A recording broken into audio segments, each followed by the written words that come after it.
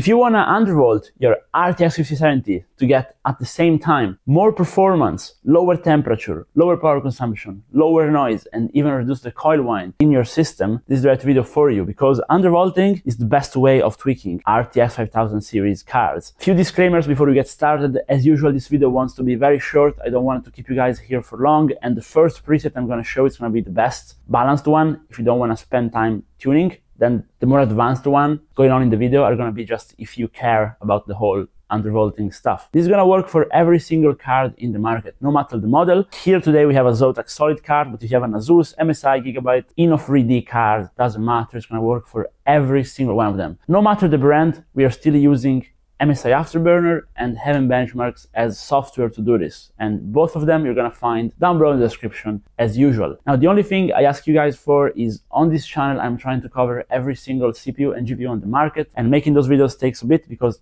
to do this, I, I, had to test 10 different 5070s to have a sample size which is decent. So if you can just drop a like and subscribe, it's gonna help me a lot. And with that said, let's not waste any time and let's go ahead and let's start undervolting. But sorry, one last thing, I'm gonna be using the stable version of Afterburner. I also have a video with the beta version and it's gonna be in my RTX 5070 Ti undervolting tutorial, which is on the channel. So if you wanna use the beta version, you can go check out that video. Here I'm using the stable one, but it's gonna be the same in the end. Let's go. Now the first thing you want to do is open up Heaven Benchmark and you wanna run it with those settings. Quality on ultra, tessellation extreme, anti-aliasing X8, uncheck the full screen option and run it at 2560 by 1440, even if you have a 1080p monitor.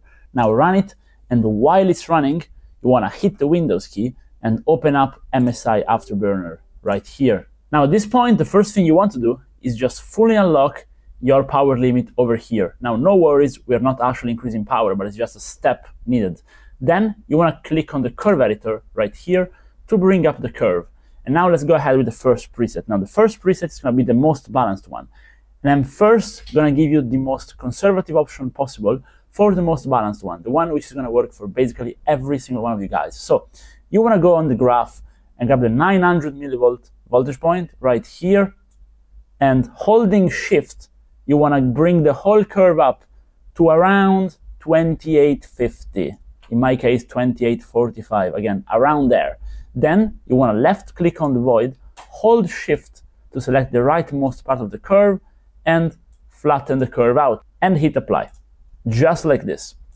And we have now applied our undervolt and our card is running at slightly over 2900 megahertz and it's running properly. It's already a lot cooler, a lot quieter, and running better. Now, what we want to do is go ahead and on the memory clock, we want to give it plus 2000. Okay, just max it out. Now, if you have a newer version of Afterburner, you can do 3000, but we'll talk about that later. If you want to just copy, just the safest setting ever to get your benefits, just do this. Drop a like, subscribe, and close the video.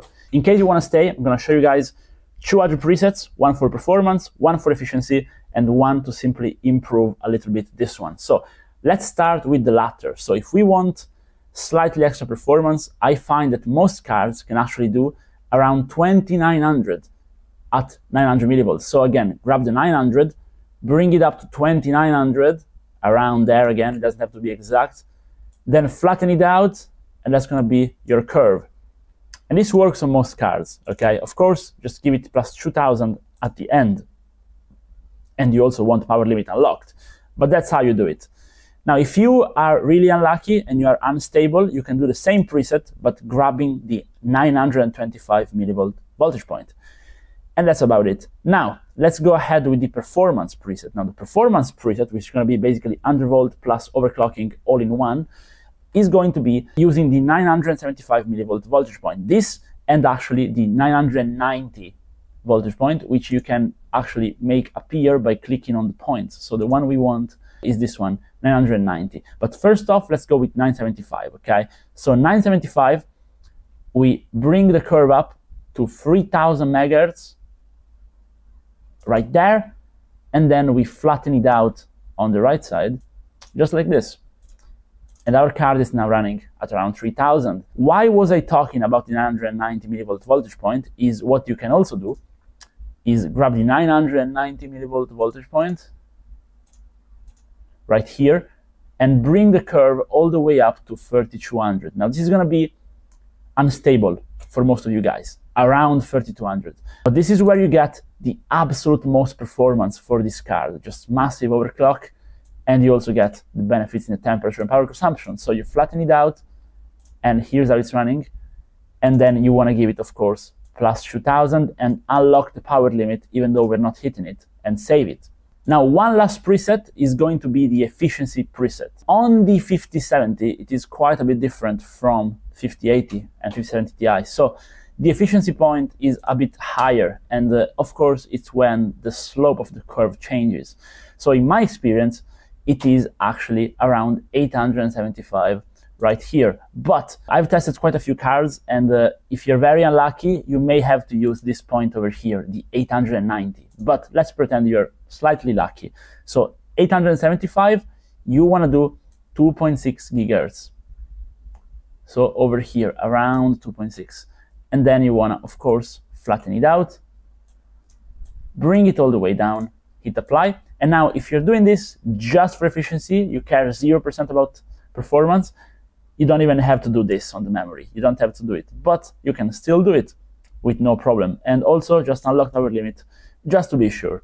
This is our efficiency preset. So with this, we have covered every single possible option for this card and just a few words on the memory clock and then we're off. Basically, yes, you can go over 2000 by using new version of Afterburner. If you're seeing this video in the future, all of you guys will have this one to 3000. But in my experience, after 2000, the ECC in the VRAM automatically corrects the error and makes you actually lose frames and uh, basically how smooth the game is. So maximum, I would go 2.2 over here, but I think it's not worth it, just put 2000, you'll be happy. Now you're probably wondering, how do I save this to be my profile to work all the time? Well, you go here, you click on save, you click on one, you then click on one, you click apply, you then wanna check this, make sure it's blue over there, then go into settings and enable start with Windows, start minimized, and hit OK. And like this, Afterburner is going to automatically start, and you will always have your undervolt with you all the time. And with that said, please remember your promise in the beginning. So if the video was helpful, drop a like and subscribe, and drop a comment. Let me know how it goes and if you did anything different. And tell me which preset you chose. I'm very curious. Bye bye.